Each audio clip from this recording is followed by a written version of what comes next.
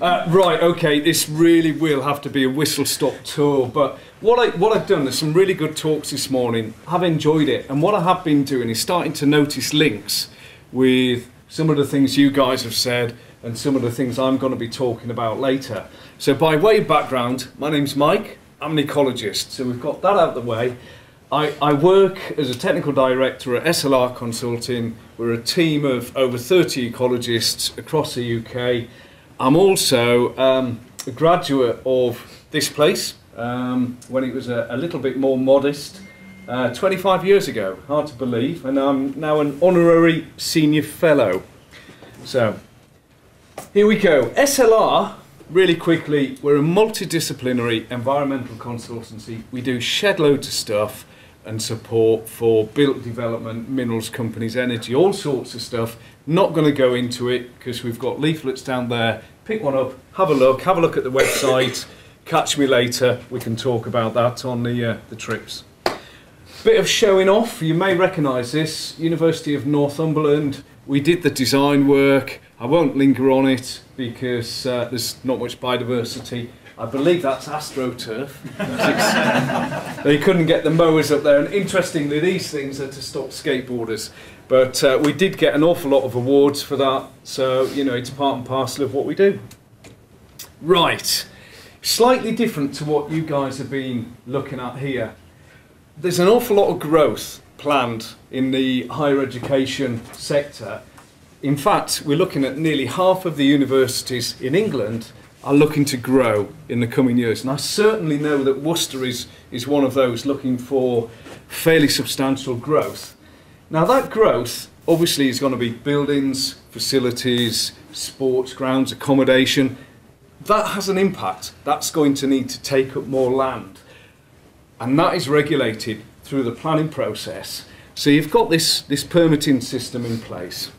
Now, where does biodiversity come in? There's quite a few policy drivers here that, that influence this. Firstly, um, we have a DEFRA strategy paper called Biodiversity 2020. Quite an ambitious target. They want to see no net loss of biodiversity by 2010. That's clearly all linked into the kind of stuff you guys are doing, but they want to see it delivered through the planning system. And if we're building stuff, we need to be careful about that. So, how does that kind of aspiration get filtered down into local plans? We have a national planning policy framework, big document, lots of stuff in there. We'll focus on the relevant stuff.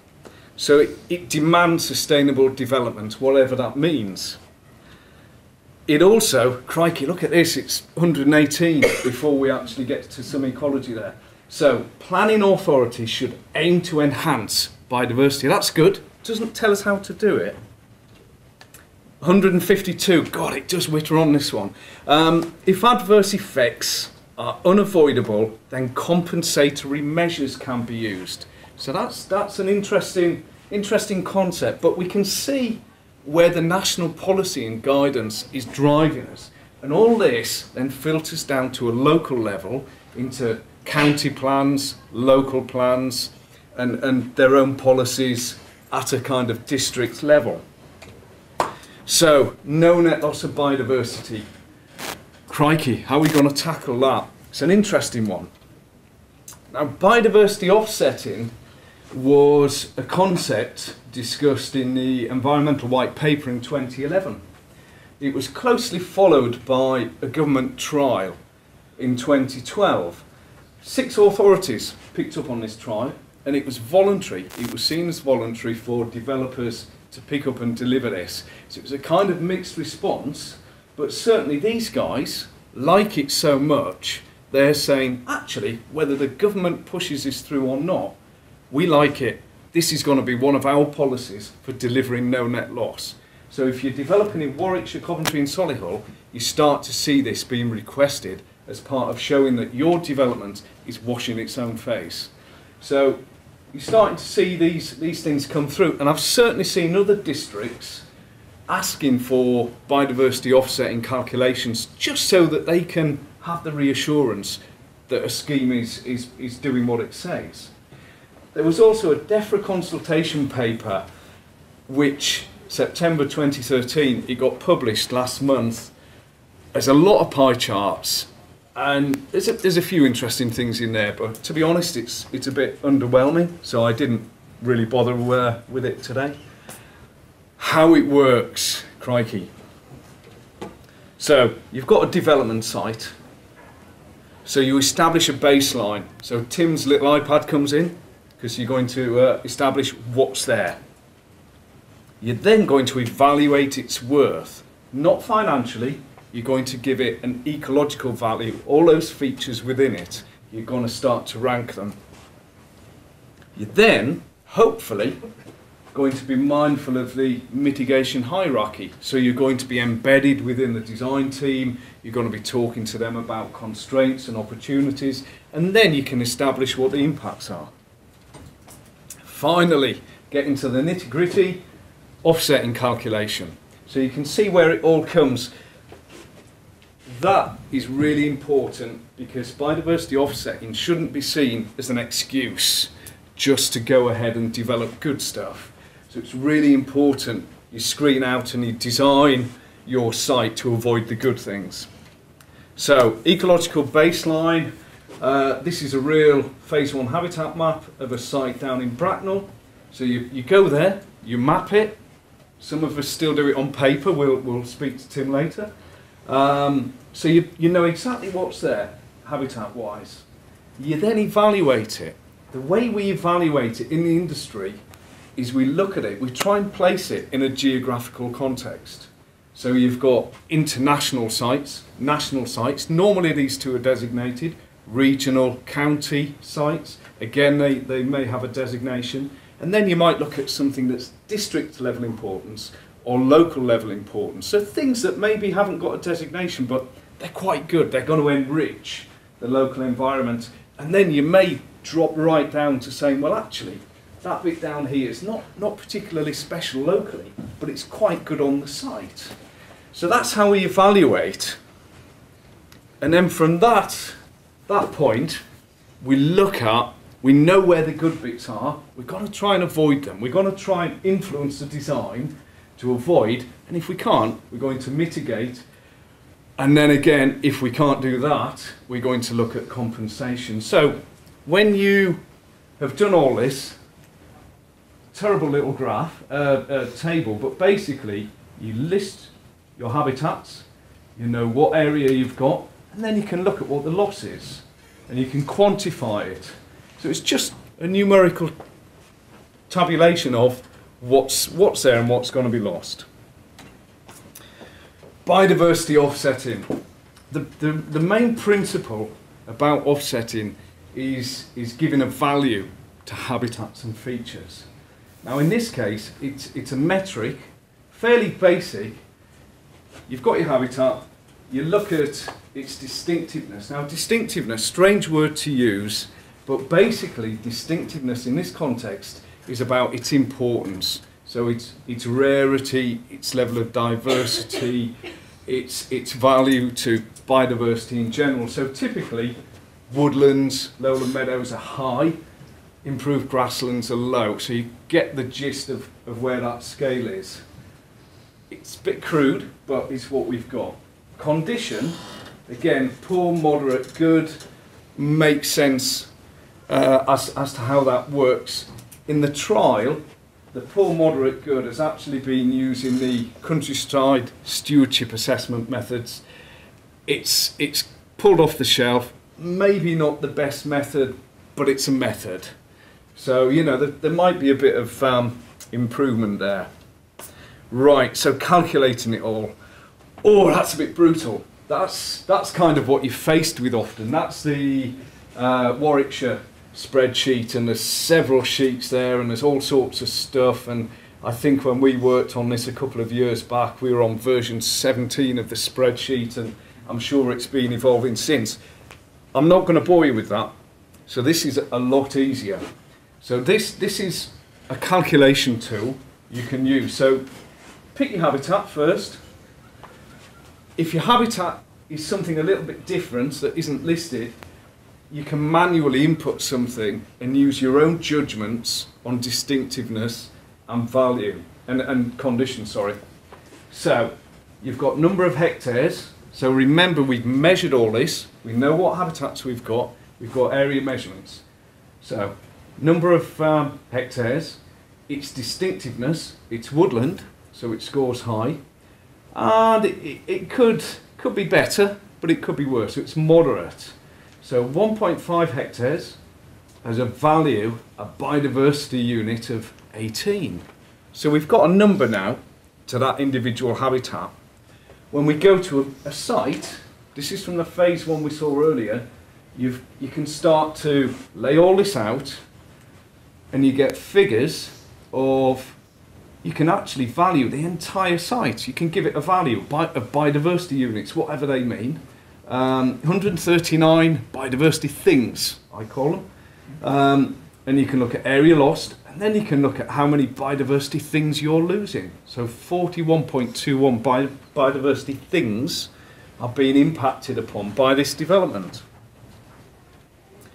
So this, this is where I've struggled for ages thinking, well, okay, it's a biodiversity unit. What, what does it look like to call it a biodiversity thing? It's kind of a new concept. So just for context, really nice stuff. Lowland meadow, good habitat. One hectare is worth 18 biodiversity units. You drop down the scale to improve grassland and the same for arable land and it's only two units per hectare. So you can kind of see that sliding scale and those values will change depending on the condition of that habitat. So, you've worked out what your impact is. That development site, 41 biodiversity units, things, are going to be lost. So how do we get those back?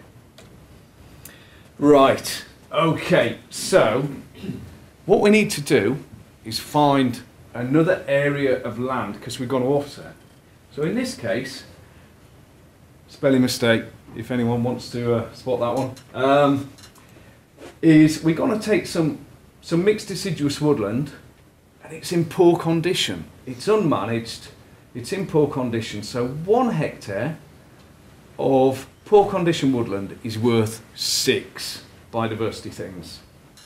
We're then going to say, right, we're going to manage this and we're going to make it good. And at the end of making it good, it's going to be worth 18 biodiversity units. So you can see the concept is restoring woodland, you can actually increase its value in biodiversity units. The end product, now we can't count its existing value, so we, uh, we, we have to subtract that. So the, uh, the 6 comes off the 18. Now it does take time to actually uh, restore a woodland. So in this case, we're restoring it. I'm saying it's going to be 10 years to get it up to the value we're seeking. But restoration is not that difficult. So it's quite low. So there's a few little calculations en route to uh, think about there. So the reality is we get an uplift of eight and a half biodiversity units. I might need more than two minutes, Seth. Um, so for uh, one hectare of woodland restored, you get 8.5 units back. So, same again, let's plant it on an arable field. That might sound quite easy, but the reality is you're going to get less value because it's taken an awful lot longer and it's a bit more difficult to do to achieve that end goal. So that starts to put a bit of context as to how you need to think about this. So your ideal strategy, careful design reduces the impact and loss and minimise what your losses are going to be. You can quantify which are the good bits and the bad bits.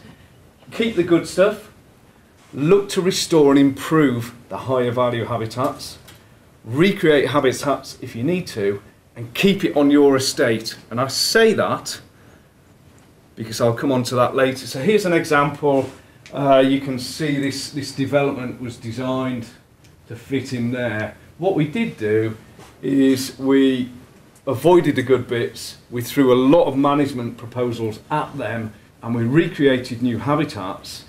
And at the end, we've actually got an uplift in biodiversity uh, units there.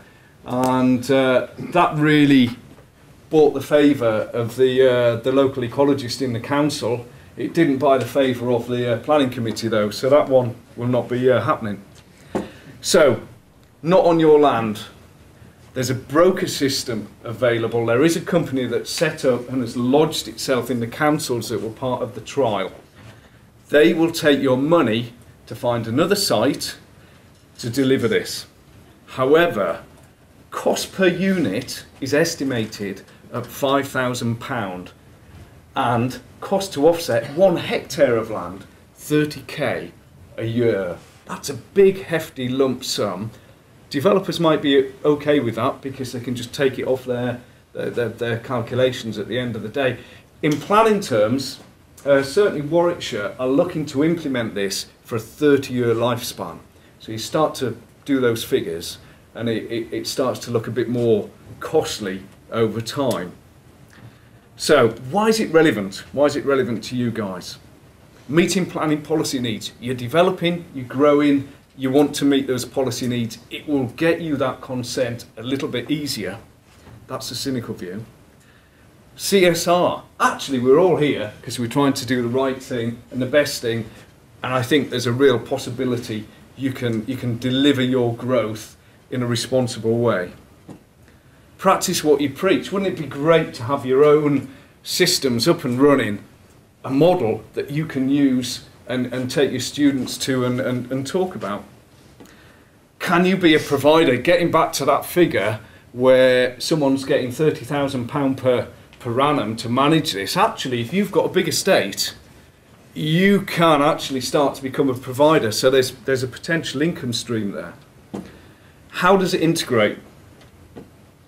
You feed knowledge of resources and sensitivities into facilities management systems. I'm really keen. We've, we've, we've obviously got conflicts between university development aspirations, some of the facilities management. Well, if you feed it into GIS and BIM, Buildings Information Modelling, this is a new system which many of your places will be adopting for the built environment. You can start to feed it into the systems that your built, built environment guys are really comfortable with. So it starts to become something very real for them. Plan ahead. You, you know broadly what your plans are. You can start to appreciate what you've got. So you can start to plan which are the sensitivities, where have you got the areas where you would have minimal loss. You can double up on land use. Now this is really good because if you're clever enough, when they're developing a site, you can also get biodiversity credits from sustainable urban drainage, green infrastructure, recreational space. Not all of your campus will be developed, so get the most out of it, squeeze some out, and then integrate management and monitoring into estate facility systems.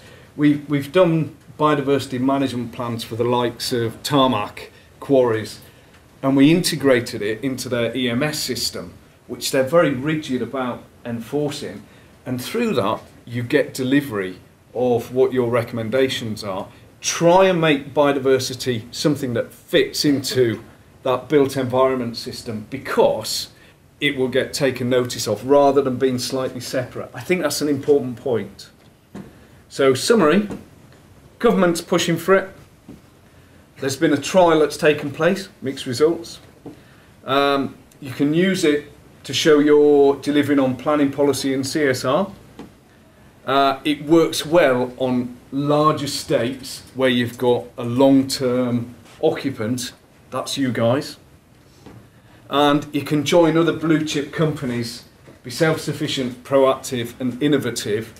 There are other companies looking at this. There's a, a large automotive business in the West Midlands which has a huge landholding, big growth plans they're looking at this ahead of the game because they want to deliver this as part of their development package.